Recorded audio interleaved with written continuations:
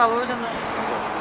Хорошо. Я житель города Курахова, Конарева Надежда Геннадьевна и руководитель инициативной группы, которая три года уже э, действует у нас э, и работает, и добивается справедливости. В настоящее время, когда прошли выборы, мы возмущены, я получаю множество звонков, и только выхожу на улицу, ко мне обращаются жители города и говорят, что у нас происходит, почему ничего не изменилось. Мы видим, что было на Майдане, мы видим, что меняется все, а у нас на старом уровне. Мы никогда не думали, мы думали, что Сашко вообще вон даже с местного совета. А оказывается, он сейчас баллотировался был кандидатом в депутаты в Верховную Раду, при том, что он не есть носителем проукраинского движения. Он, наоборот, тормозит жизнь Курахова. Это тот человек, который все время был и служил партии регионов. Кроме того, он, когда наши ребята стояли на Майдане, он посылал отсюда, собирал э, своих тетушек, которые возглавляют коммунальное хозяйство, э, которые, э, основателем которых является Кураховский э, горсовет, и набирал группе и отправляли на антимайдан, как тетушек, чтобы они проводили там провокации. И вдруг сейчас он снова говорят, что он проходит. Как он может пройти, если очень много возмущений?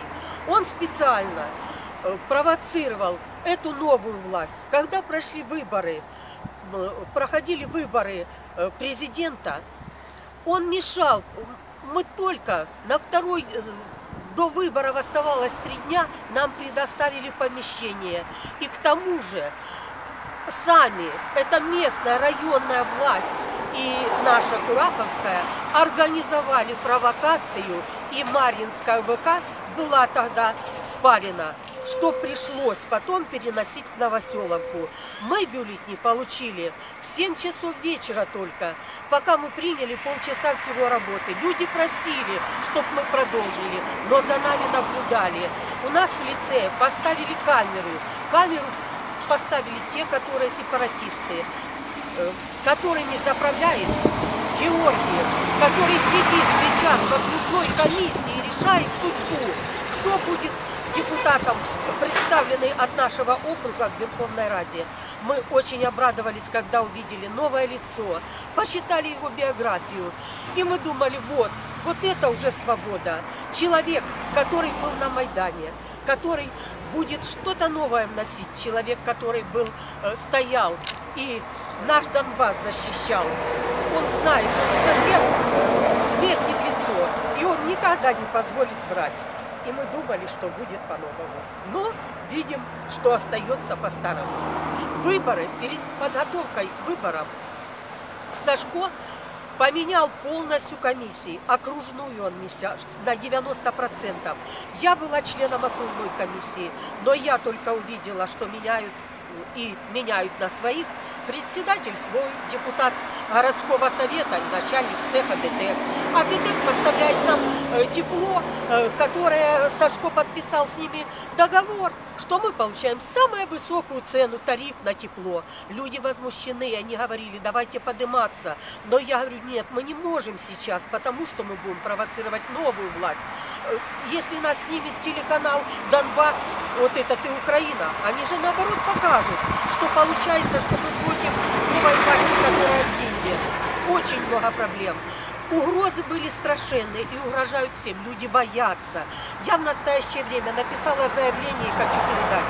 Вот когда я пошла за Майдан, все, на меня вот это по Курахово были расклеены такие листовки.